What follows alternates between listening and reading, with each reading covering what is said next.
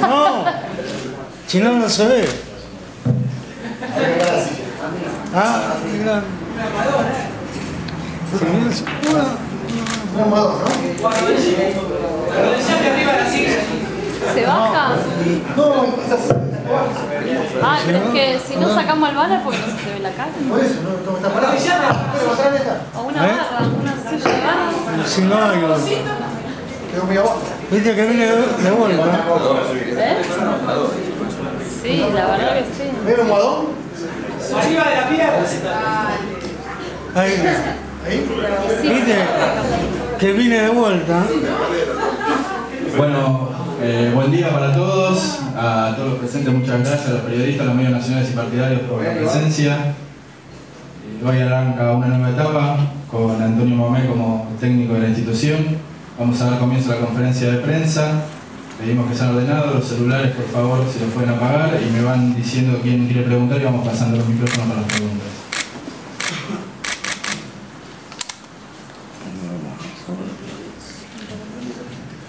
Bueno, Tony, eh, bienvenido otra vez a lo que, lo que es tu casa. Y bueno, las sensaciones que te invaden en este primer entrenamiento y las expectativas inmediatas que ya tenés. Quisiera. Bueno, muchas gracias. No, el sentimiento de felicidad, de reencontrarme con, con toda la gente amiga, con toda la gente del club, con todos mis lugares. Eh, pero ya mentalizado en, en trabajar y en formar un equipo con la expectativa, con la mejor expectativa, con la ilusión intacta, con muchas ganas de, de trabajar. Así que esas son las sensaciones que tengo. Las sensaciones ya de, de, de alegría, de, nostalgia, todo ya las pasé el día de la presentación, entonces hoy estoy muy compenetrado en lo que es trabajar y conocer a los jugadores y, lo que me gusta a mí estar en la cancha, muy contento. ¿Qué tal? ¿Cómo te va, Turco? Eh, buen día. Eh, Matías Guiño de. Preguntarte por ahí apresuradamente cómo encontraste el grupo de jugadores, ¿sí? Y cómo ves el fútbol hoy argentino. ¿Cómo, cómo no sé si estuviste viendo, y cómo lo encontrás? ¿Qué reflexión se puede hacer de todo lo que se ve en el fútbol? Hablar del grupo es prematuro porque tuve recién un primer contacto, vamos formando el grupo que, que queremos, de a poco van llegando los jugadores. Eh, con respecto al fútbol argentino, mucha desorganización, en el sentido de que pasa lo de siempre, pero nos gusta así a nosotros, siempre así el fútbol argentino, así que hay que, que acoplarse a, la dinámica de lo que es el fútbol argentino. Con respecto al juego, me parece que la mayoría de los equipos juegan a no perder y los pocos que van a ganar son los que ganan. En este caso el Newell's. Eh, bueno, nosotros intentaremos formar un grupo de jugadores y un equipo que intente ganar siempre.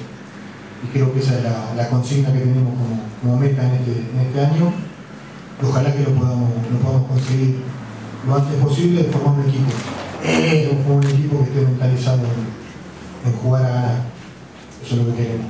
Antonio, para el año 1380 del Centro de Deportes Templo del Ritmo Deportivo, el tuto amarillo, yo sé que hoy a la mañana llegaste temprano, te pusiste la campera roja, saliste al campo de juego para dirigir de vuelta a Huracán.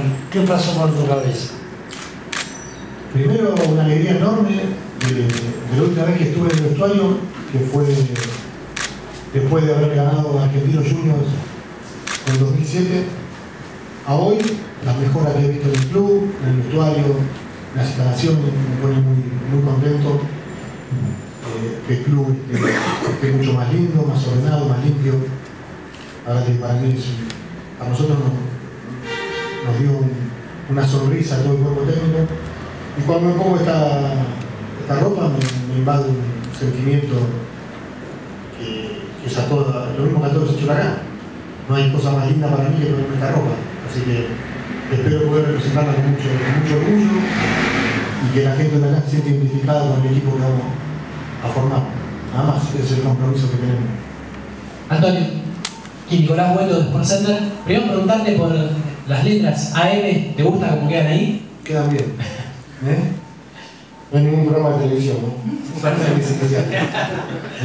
Pásame el chivo después. La otra pregunta es en referencia a los refuerzos. ¿Podés contar en, en pocas palabras eh, cuáles son y, y las características de cada uno de ellos?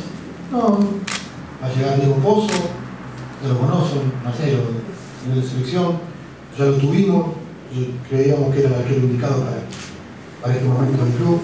Arano, lateral con experiencia que va a competir con Sotero por un lugar, y viene a reemplazar a Minici en esa posición. Eh, Eduardo que vuelve al club, Domínguez, y después llega Leandro Díaz, un chico de Lanús que tenemos mucha fe en él, que no ha tenido continuidad. Eh, después estamos, estamos en el mercado, estamos buscando jugadores. No nos vamos a apurar.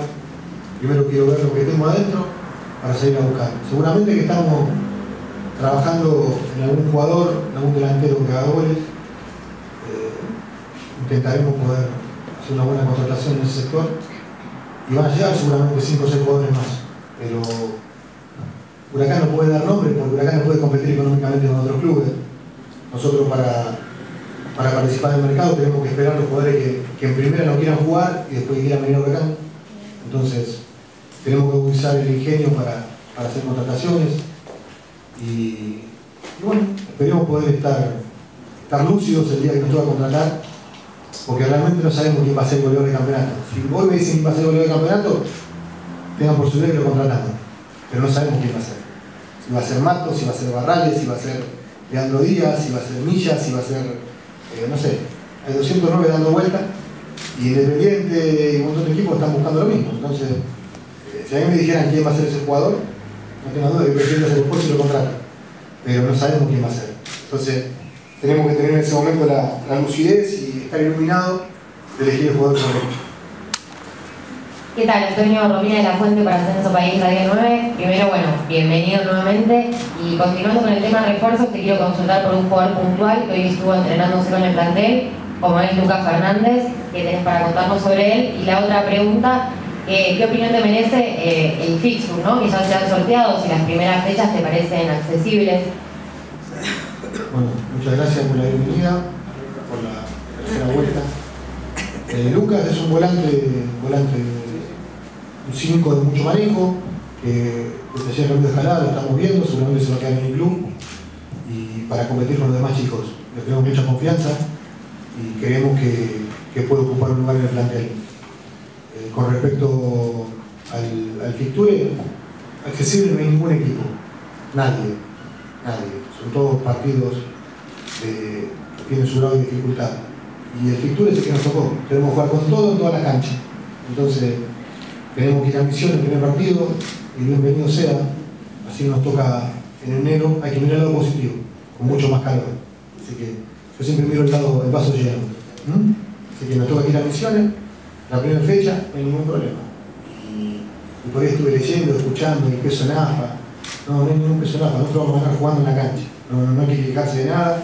Y nos toca la primera fecha allá, o nos puede tocar, si nos tocaba la 18 también nos íbamos a quejar. Entonces, nos toca la primera, tenemos que ir a jugar y ganar. Nada más. Y demostrar que realmente queremos subir a primera jugando al fútbol en todas las canchas. Turco, acá, eh, ¿qué te merece, qué opinión te merece el torneo que se va a jugar Nacional B con más equipos, van a ser 22, con que esté independiente? eh, me ima- me imagino que como estuvo River y significó mucho, pues que esté independiente y sobre todo vos también tuviste un pasado ahí, debe significar mucho tener un grande fútbol argentino, al igual que Huracán, ¿no? que imagino que van a ser los grandes candidatos a, poder ascender. Sí, primero que es un, un torneo muy largo, ¿no? Me parece a mí 14 viajes, eh, muchos partidos en tres semanas, hay que conformar un plantel, plantel un poco más largo que lo normal porque en diciembre solamente dos refuerzos, por eso hablaba recién de que hay que, ser muy, muy puntual y muy inteligente en el armado de- del plantel. Creo que a veces hay que protegerse un poquito y por ahí contratar un jugador de más. Eh, con respecto a, a que sí, al estar independiente va a jerarquizar mucho la categoría, ¿no? Es un equipo de los, de los tres más grandes del país, los cuatro más grandes del país, entonces eh, Huracán Independiente creo que, que tiene la obligación de, de- de hacer, de hacer punta en este torneo.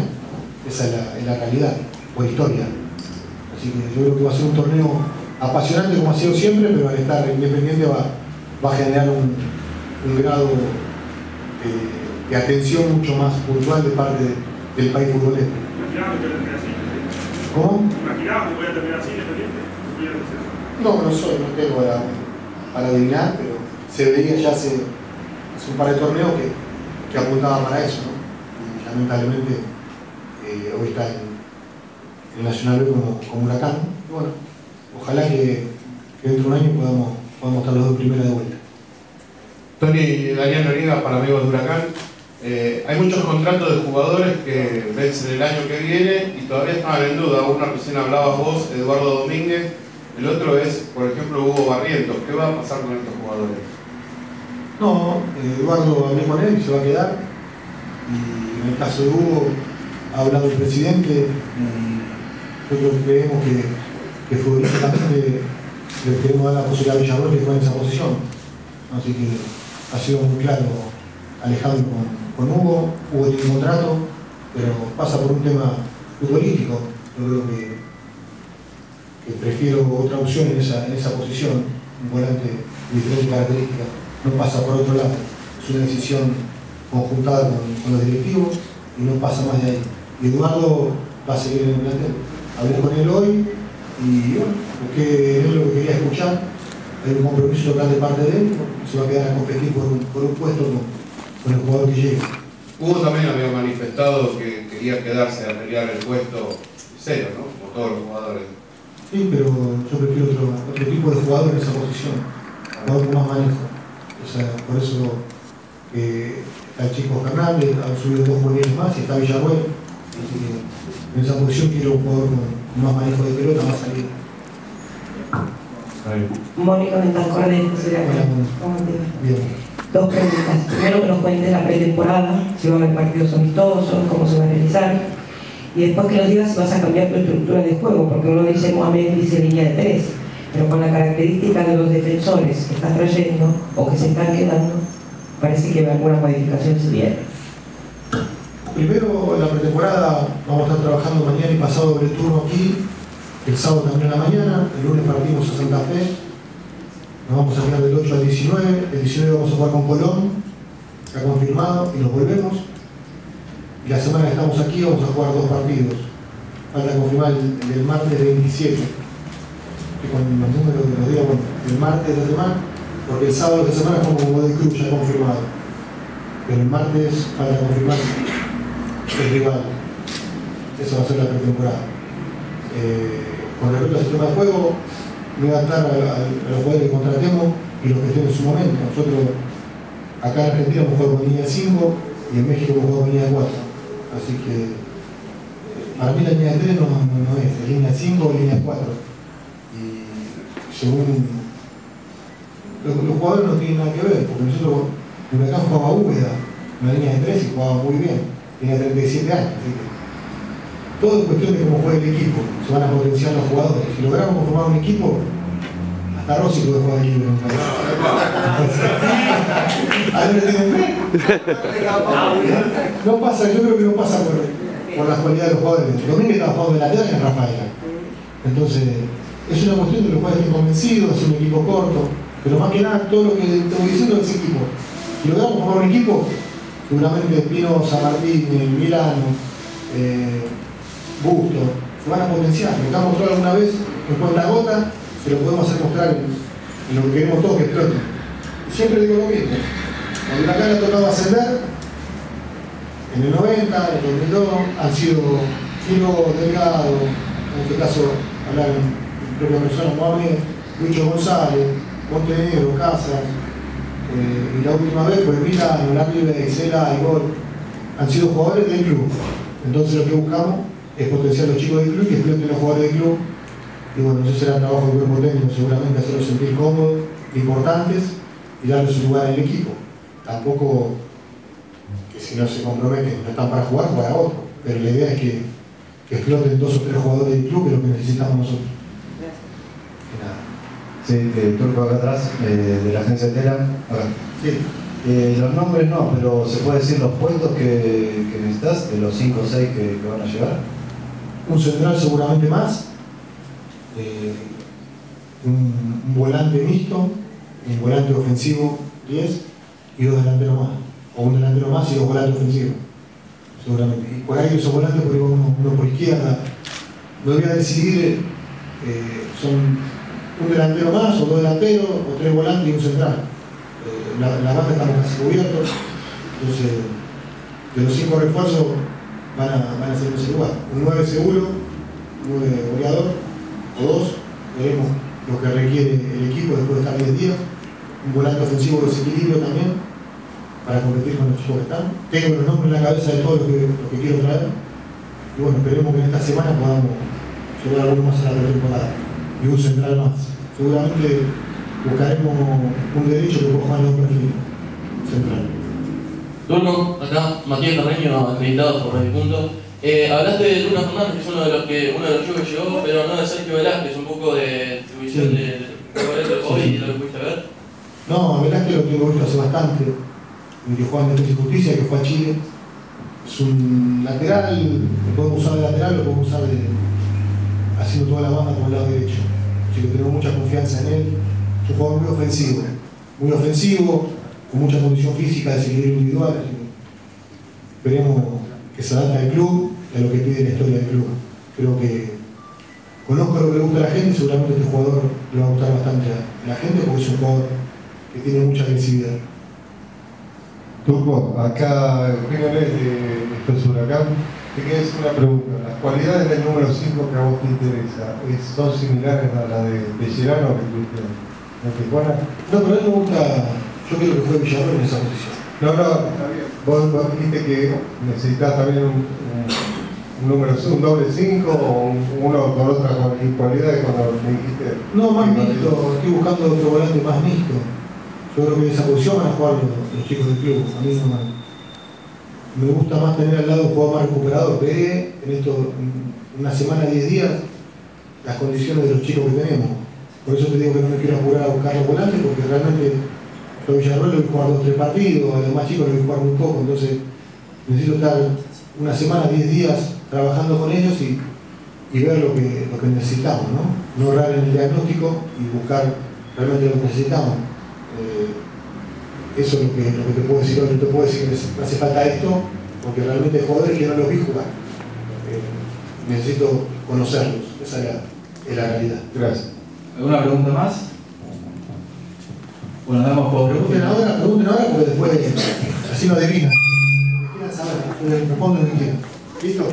Nada, agradecemos a todos los presentes. Buen día para todos.